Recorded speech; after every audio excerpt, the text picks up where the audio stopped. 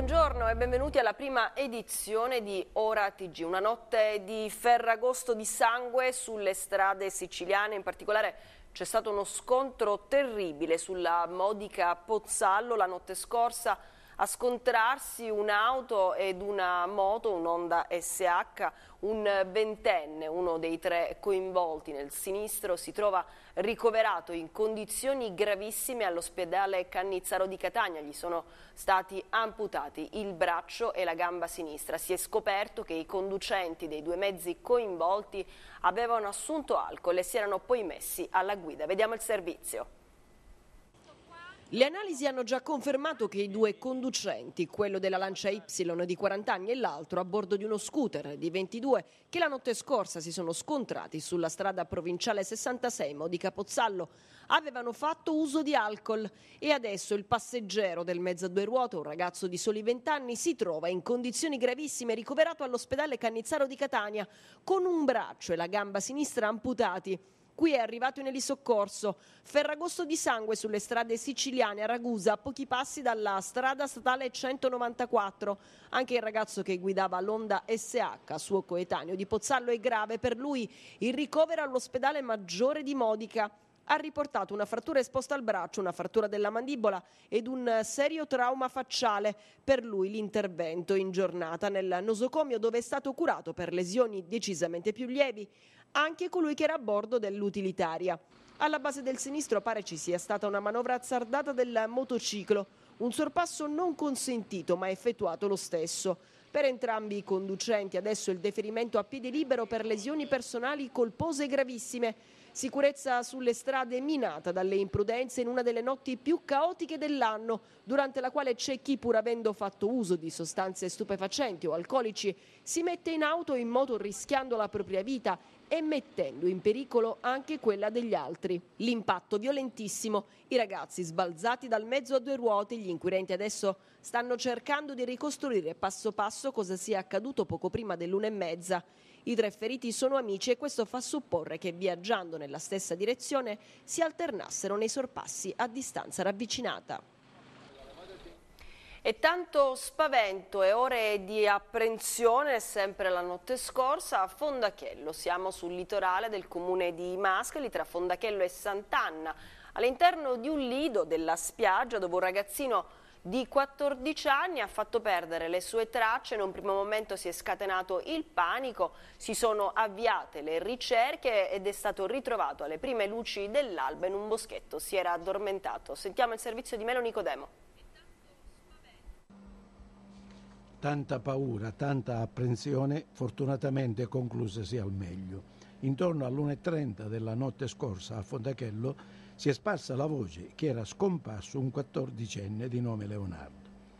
La notizia si è sparsa in un baleno e i responsabili dei lidi hanno iniziato a comunicare tra di loro per conoscere gli esatti termini della situazione e vedere come poter intervenire. Allertati i carabinieri subito accorsi hanno imposto lo spegnimento della musica trasmessa in questa particolare notte dove l'euforia spesso fa perdere i contorni della razionalità e si sono messi alla ricerca del ragazzo. Infine, alle prime luci dell'alba si è scoperto che il minorenne si era allontanato dal posto in cui si trovava con gli amici per andare in un vicino boschetto e lì si era addormentato. L'episodio ha in parte scombussolato lo svolgimento delle numerose manifestazioni. I gestori vorrebbero una maggiore presenza da parte dei genitori in queste occasioni, dove nella frenesia del momento può accadere di tutto, principalmente l'abuso degli alcolici nella minore età abuso confermatoci dai vigili urbani di Mascali, i quali hanno operato sino a notte fonda. Come tutte le notti di Ferragosto eh, sono notte selvagge. Abbiamo aiuto né della Capitaneria di Porto, né dei vigili urbani, né dei carabinieri. Ogni, ogni Ferragosto eh, c'è sempre qualcuno che si litiga, eh, si fanno, fanno a botte, si ubriaco, ma la colpa principalmente io la do ai papà che lasciano i loro ragazzi da 10, 12, 14 anni in giro a dormire nelle tende. Ora stanotte verso le 3 sono arrivate delle battuglie dei carabinieri che cercavano un ragazzo che dice che si era smarrito, non lo so, che poi fortunatamente si è trovato. Però ripeto a dire cari papà, io sono pure un papà, non lasciate i bambini, dovete venire qua la notte quando li lasciate e li trovate l'80% tutti ubriachi. C'è stato un vasto incendio questa mattina che ha interessato la zona di Catania Sud, in particolare quella adiacente al cimitero inglese. Il fumo si è propagato in alto lambendo anche lo spazio aereo che appunto viene utilizzato dagli aeroplani in da e per la città di Catania. Vediamo il servizio che è stato curato per noi da Mario Grasso. Inferno di fuoco oggi a Catania. In fumo ettari ed ettari di terreno, oltre ad un paio di casolari, nel quadrilatero compreso tra Zia Elisa, il cimitero inglese, l'asse dei servizi, la strada statale 192. Poco dopo le 11, in men che non si dica, le fiamme si sono propagate su più versanti, alimentate dal vento e dalla vegetazione. Combustibili questi che hanno messo a dura prova la professionalità di vigili del fuoco, corpo forestale polizia dello Stato, che hanno lavorato ininterrottamente per circoscrivere i roghi. Il fumo denso e nero ha più volte affiancato la rotta di avvicinamento della pista dell'aeroporto di Catania, con gli aerei che, come si vede dalle immagini, a volte si sono immersi persino nella coltre, sebbene tutte le manovre siano state eseguite in massima sicurezza. Per raggiungere i roghi, i vigili del fuoco hanno dovuto aprire varchi provvisori sia nelle piccole strade sterrate della zona che rompendo i lucchetti degli accessi poderali. Dall'alto le squadre terrestri sono state supportate da un elicottero con l'obiettivo di ridurre il fronte del fuoco che intorno a mezzogiorno ha avvolto anche un paio di casolari. Con il passare delle ore l'incendio si è spostato verso sud, con il risultato che sia l'asse dei servizi che parte della tangenziale a ovest di Catania sono state attraversate dal fumo. Diverse le squadre dei pompieri ma anche del corpo forestale che sono confluite lungo le varie strade per bloccare le fiamme che hanno avvolto diversi alberi, oltre che creare problemi alle linee elettriche e ai passaggi d'acqua. Molti gli automobilisti che impauriti hanno chiamato il centralino dei vigili del fuoco per segnalare l'incendio, di cui bisognerà accertare anche l'origine, se accidentale, causa questa che sembra essere però poco probabile, oppure voluta, quindi generata da un innesco, e che se così fosse ha intenzionalmente provocato danni enormi, mettendo a rischio patrimonio ambientale, la fauna locale e perché no anche le tante strutture private, sia mobili che immobili, che hanno dovuto confrontarsi oggi con il vastissimo incendio. Rimaniamo in qualche modo in argomento perché parliamo di roghi, ma eh, ci spostiamo ad Acireale dove un principio di incendio al dismesso palazzo dell'Inam in via Paolo Vasta ha fatto emergere la presenza di occupanti abusivi che trascorrono solitamente le notti proprio all'interno della struttura, identificati e allontanati alcuni extracomunitari dalla Polizia di Stato. Sentiamo Salvo Cutuli. Un principio di incendio nella sede dismessa dell'ex Inam di via Paolo Vasta da Ciriale ha fatto emergere una situazione di estremo degrado scaturita dall'occupazione dei locali da parte di un gruppo di cittadini extracomunitari che da mesi stanziano illegalmente negli spazi interni trasformati in giacigli di fortuna per la notte, identificati e fatti allontanare dalle forze dell'ordine.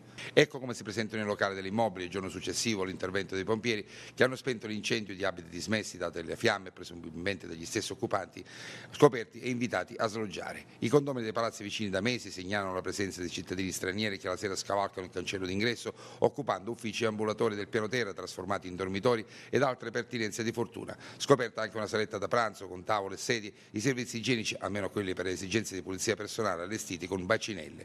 Poco distante una stanza latrina invasa da maleodoranti escrementi umani che si propagano nei piani alti dei palazzi vicini tra le proteste inascoltate dei proprietari. Dai primi riscontri investigativi eseguiti dagli agenti della municipale intervenuti su segnalazione dei vigili del fuoco si tratta prevalentemente di migranti in attesa del permesso di soggiorno, in qualche caso rifugiati politici sfuggiti al controllo delle autorità che vivono di piccoli espedienti, i quali durante la notte trovano riparo e ricovero di fortuna occupando casolari abbandonati ed edifici disabitati.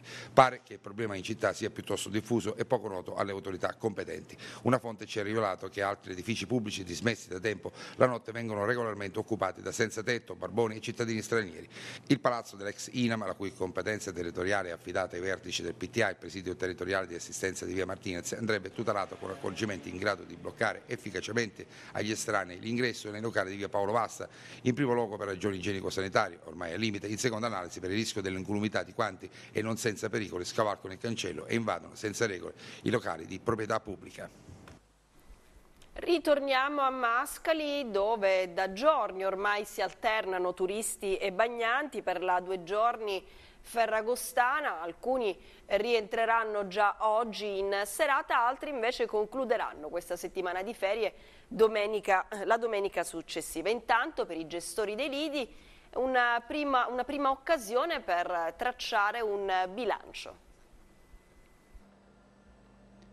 Puntuale come ogni anno si ripresenta nella settimana di Ferragosto l'annoso problema degli attendamenti che nella zona di Fondachello proliferano in maniera esagerata e sconsiderata. Nonostante i divieti di piantare tende emanati dalla Capitaneria di Porto di Riposto, il fenomeno ritorna con numeri sempre crescenti nei vari anni. Forse da parte degli impiantatori di tende non ci si rende conto dei rischi cui si va incontro quando si formano assembramenti così numerosi. L'igiene viene messa da parte, la sicurezza personale e collettiva va a farsi benedire e caso non isolato è facile che le risse nascano come funghi.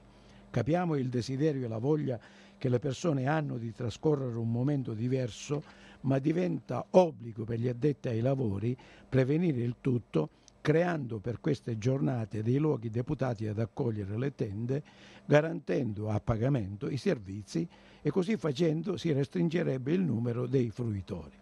Fondachello, d'altra parte, nel mare ha una sua risorsa economica rilevante e l'estate è la sua alleata e poiché l'estate normalmente va bene a Fondachello, sarebbe meglio poter organizzarla come si deve. È andata la stagione quest'anno?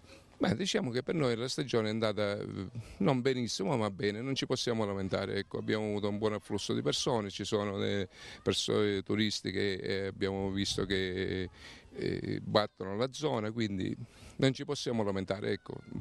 Ci vorrebbero solo un po' di servizi in più, ma del resto va bene così siamo sulla buona strada. Ecco. Però comunque io ribadisco che Fondachello e tutta la nostra costiera è una zona sicurissima, controllata e attenzionata da tutti. Un'altra realtà che i gestori dei lidi chiedono è quella di attenzionare da parte delle autorità costituite la Polizia del Mare in particolare per quanto riguarda poi il prelievo da parte della spazzatura che viene lasciata dentro i lidi, perché i gestori ci dicevano ancora che all'esterno funziona la raccolta differenziata, mentre diventa più difficile poterla effettuare dentro i lidi e spesso sono lo stesso personale dei lidi che provvede a questo. Noi aggiungiamo che il mare di Fondachello è, è, pulito, ma ognuno di noi vorrebbe che lo fosse al massimo e vorrebbe delle grandi assicurazioni, specie quando si tratta di vedere situazioni che non si vorrebbero vedere e questo già può essere un deterrente ad utilizzare al meglio tutto quello che Fondachello offre. Questa è la fotografia nella Riviera Ionica, vediamo adesso come sta andando, come è andata a Catania. La notte trascorsa a ballare sulla battigia, il mattino del 15 agosto in spiaggia, a crogiolarsi sotto il sole, oppure a rinfrescarsi nelle azzurre acque della playa. Tutto esaurito oggi sul lungomare del litorale dorato della spiaggia catanese, sold out sia i lidi che le tre spiagge libere cittadine dove, nel loro insieme, si sono riversati non meno di 80-90 mila persone. Quella della Playa infatti è ormai spiaggia non solo per i residenti, ma anche meta turistica per chi ha deciso di trascorrere il Ferragosto nella parte orientale dell'isola. Buon viatico questo per confermare ancora una volta il binomio Catania-Città di Mare. Una garanzia di aggregazione, la garanzia di passare insieme alla propria famiglia, agli amici più cari, eh, questa serata che in effetti è proprio eh, tradizione del, del catanese eh, in tutta la Sicilia. Noi ci siamo visti più volte nel corso del, dell'estate, abbiamo sempre detto arriveremo al cru, arriveremo al cru, arriveremo preparati al momento della grande estate Ferragosto. Ah, devo dire che quest'anno c'è stato anche più afflusso rispetto all'anno scorso e molto composto, eh, la viabilità ha retto benissimo e durante tutta la serata non c'è stato nessun disordine, una, una serata passata in allegria eh, facendo i classici giochi eh, che si fanno su spiaggia, eh, consumando i pasti, ehm, insomma creando gruppo e cenando tutti quanti assieme, una serata davvero piacevole e da ricordare. Senta, la spiaggia qui è davvero dorata, pulitissima. Possiamo dire che Catania finalmente si candida ad essere una delle spiagge più belle d'Italia? Beh, devo dire che già gli organi preposti hanno dato la, pol- la palma eh, dell'acqua pulita eh, in diverse occasioni, quindi il mare è decisamente pulito e poi spetta a noi gestori delle spiagge mantenere pulita eh, la spiaggia e fare in modo che i servizi siano dati in maniera ottimale non solo famiglie, certamente la playa è un posto per le famiglie, ma anche tanti turisti, anche dall'estero. Sì, devo dire, i turisti si sono trattenuti, hanno preso parte, si sono eh, in qualche maniera aggregati a quella che è la tradizione e eh, devo dire... Ehm, contenti, sui volti si vedevano i sorrisi di questi turisti che eh, quasi stupiti di quello che è il Ferragosto. Eh, il Ferragosto siciliano. Sì, sì, lungo le nostre coste. Ferragosto è tutto esaurito ovviamente non solo alla playa ma anche lungo la scogliera catanese e poi via via risalendo per Aci Castello e la zona acese. Molti gli assembramenti notturni e forse ancor più quelli del Ferragosto mattina il rientro con le direttrici di traffico che dovrebbero animarsi a partire dalle ore 18. Bisognerà fare attenzione al casello autostradale di San Gregorio per il rientro verso Catania e ancora in direzione Catania sulla strada statale 114 con file previste nella zona di Aci Castello. Attenzione massima anche sull'autostrada Gela-Siracusa verso il capoluogo Aretuseo e poi dal capoluogo Aretuseo verso Catania sulla strada statale 114.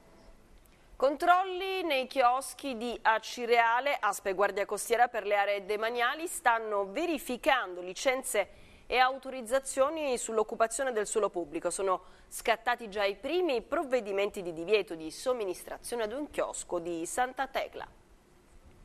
Controlli a tappeto nei chioschi di Acireale da parte di Polizia Municipale, ASPE e per quanto di competenza dalla Guardia Costiera. Scattano i primi provvedimenti. Disposto il divieto di somministrazione di cibo e bevande al chiosco del solarium comunale dello Scalo Pennisi nella frazione di Santa Tecla su disposizione della Capitaneria di Porto che ha competenza nelle aree demaniali. Una ventina i baracchini presenti ad Acireale, frazioni molto attive specialmente nel periodo estivo. In principio servivano sels, limone e sale. Col passare del tempo in alcuni casi si sono trasformati in veri e propri punti di ristoro con servizio di ristorazione e somministrazione di alcolici e superalcolici. La faccenda si fa seria. L'amministrazione ha dato incarico ad un esperto esterno di verificare la documentazione alla Polizia Locale, compito di controllare lo spazio in concessione e l'eventuale occupazione abusiva del suolo pubblico, ai sanitari dell'ASP è demandato il controllo della salubrità dei luoghi e delle somministrazioni. Infine, anche la Guardia Costiera farà il proprio dovere, che è esclusiva competenza degli spazi demaniali e in quest'ambito le sanzioni sono salatissime. Da mesi la questione dei chioschi ad Eceriali è al centro di un aspro dibattito scaturito dalla disposizione comunale di chiudere il Lucios Bar,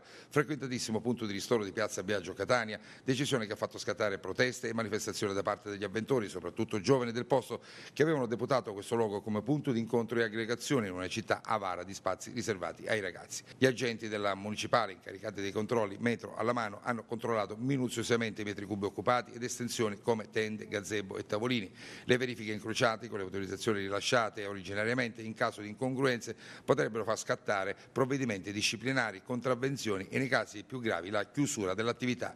Siamo alle fasi iniziali dei controlli disposti dall'amministrazione grillina che sulla questione intende riportare ad una dimensione di legalità i chioschi presenti su tutto il territorio acese.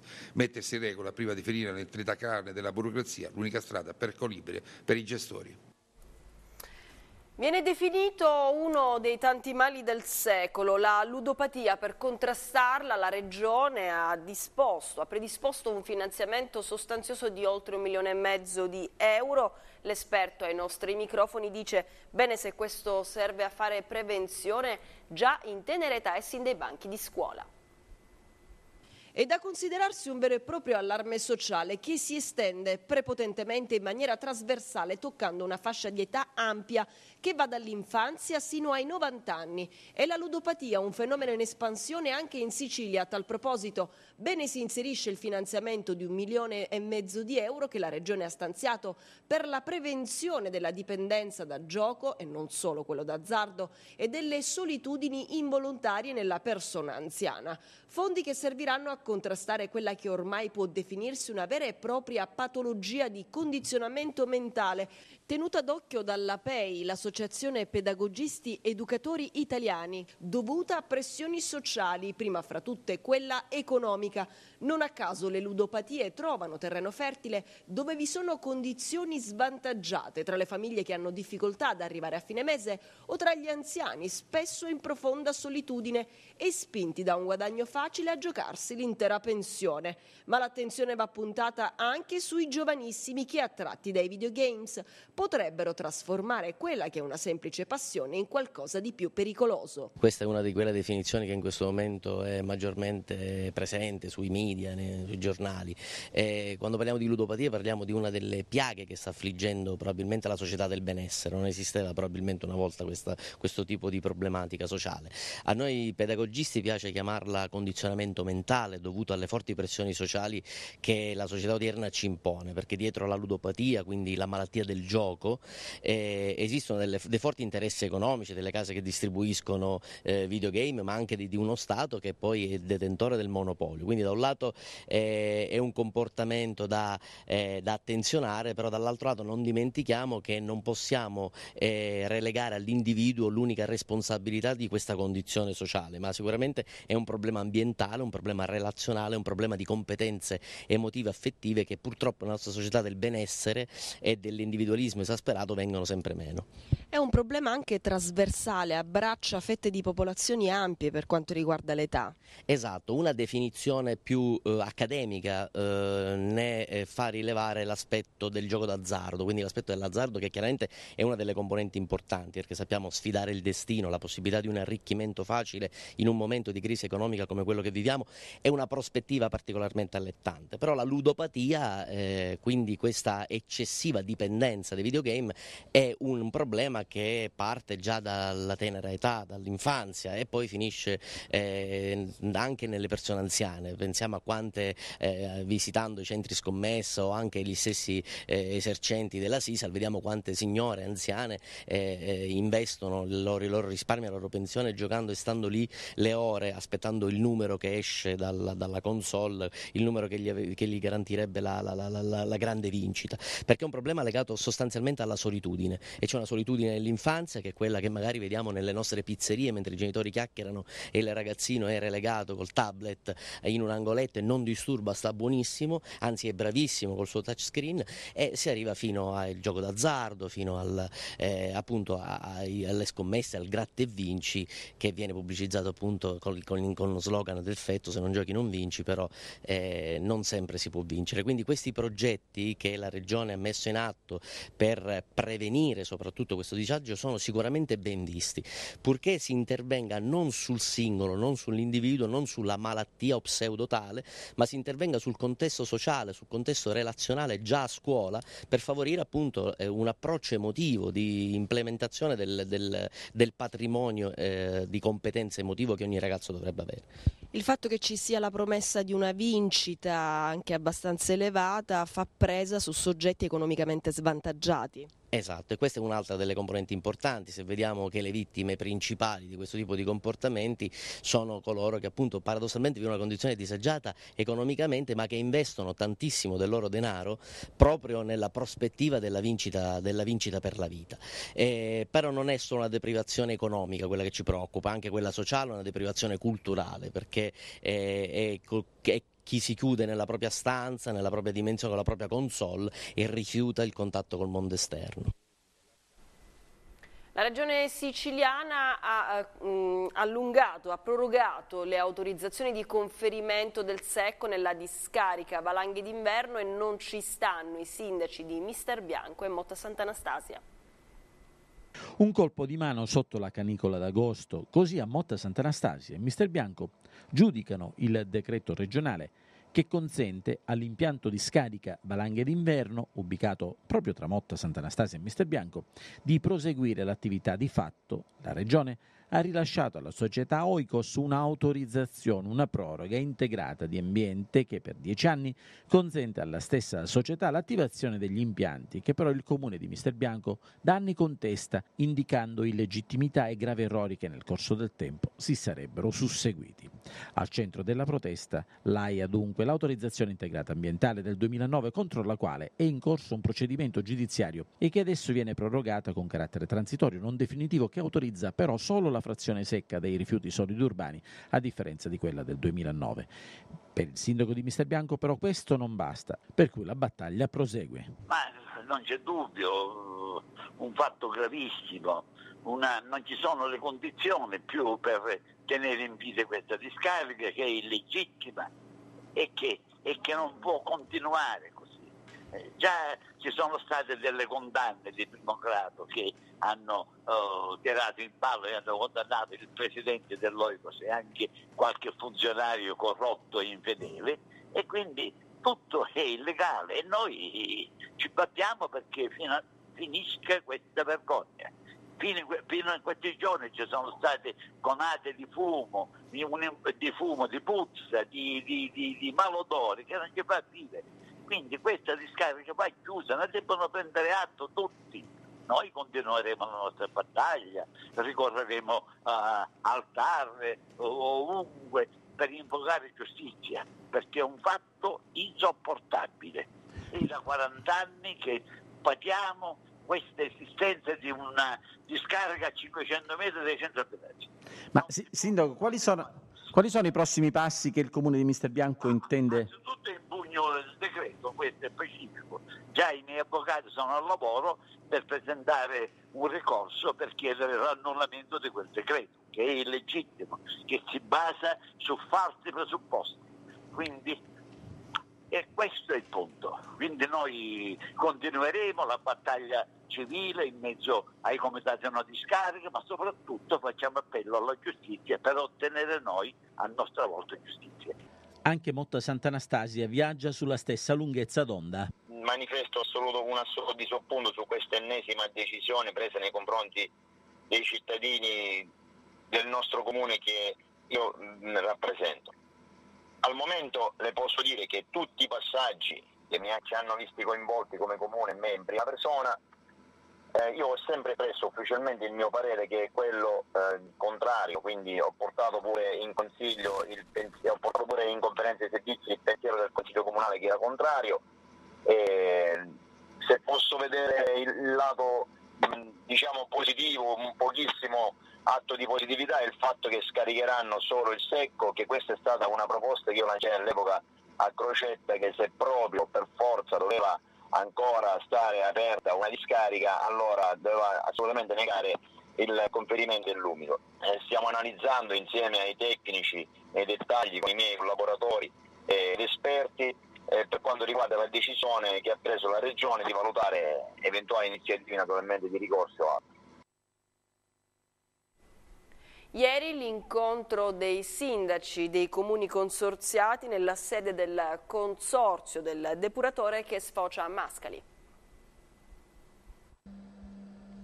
Incontro tra i sindaci di Giarra, Riposto, Mascali e Fiumefreddo per discutere dei problemi connessi alla gestione del depuratore consortile non per disfunzionalità del medesimo, ma per problemi burocratici, visto l'annullamento della nomina a direttore dell'ingegner Giuseppe Grasso. Il TAR, con recente sentenza, ha annullato questo atto, avendo riscontrato delle procedure non lineari nella nomina. Pertanto è necessario provvedere alla nuova scelta perché il CDA, essendo monco nei numeri, non può operare al meglio. Inoltre, nel corso della riunione voluta dal sindaco di Fiumefreddo Sebastiano Lucifora, è stato preso atto di alcuni rilievi presentati dai revisori dei conti. Il problema del depuratore consortile diventa caldo nel periodo estivo, essendo la zona vocata al turismo balneare dove mare pulito o sporco fa la grossa differenza. Problema più importante a nostro avviso e per quanto riguarda le cittadinanze in generale è la funzionalità del depuratore. Cosa ci può dire lei? Allora, ad oggi il depuratore è funzionante in tutte le sue parti, Eh, noi di fatto l'unico elemento che testimonia il regolare funzionamento del, del, depuratore sono le analisi che facciamo mensilmente in autocontrollo sui reflui in ingresso e in uscita e i sopralluoghi di, eh, che ci fa ARPA per il controllo del regolare funzionamento dell'impianto. Le analisi da eh, gennaio 2018 fino alle ultime disponibili che sono giugno 2018 sono, sono tutte regolari. Eh, abbiamo avuto mh, vari controlli di ARPA, il, il terzultimo non, non lo, ricordo, mi pare che era il 28 giugno, poi abbiamo avuto il 9 luglio, sono venuti, eh, sono venuti ieri in, in impianto e hanno attestato che tutto funziona eh, regolarmente, quindi direi che non, al momento non ci sono problemi eh, rilevanti ci sono stati, abbiamo affidato peraltro eh, ora eh, di recente un nuovo servizio per lo smaltimento dei fanghi, quindi abbiamo fatto un contratto fino, dicem- fino alla fine di quest'anno per eh, lo smaltimento, le, eh, lo, smaltimento, e trasporto a rifiuto dei fanghi che, stanno, che stiamo regolarmente estraendo. Rieccoci in studio, non ci sono notizie dell'ultima ora e dunque vi lasciamo alle previsioni meteo per la giornata di domani ricordandovi che l'informazione di Rai TV è disponibile online al sito reitv.it, su YouTube e sulla nostra pagina Facebook. A voi tutti buon proseguimento di pomeriggio.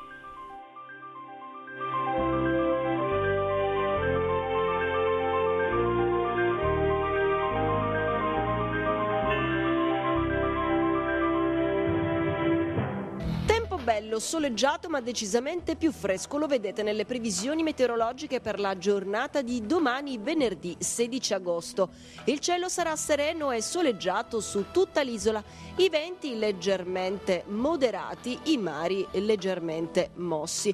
Uno sguardo adesso alle temperature si abbassano sia i valori minimi che massimi nel capoluogo etneo previste rispettivamente 22 di minima e 34 di massima.